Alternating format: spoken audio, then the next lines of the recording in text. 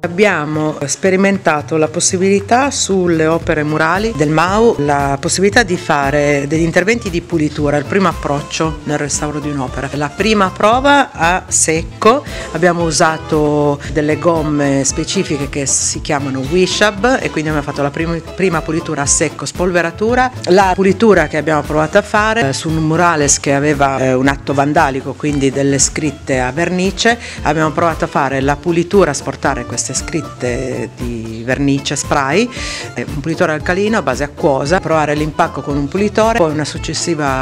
eh, un successivo risciacquo a base d'acqua per asportare i residui.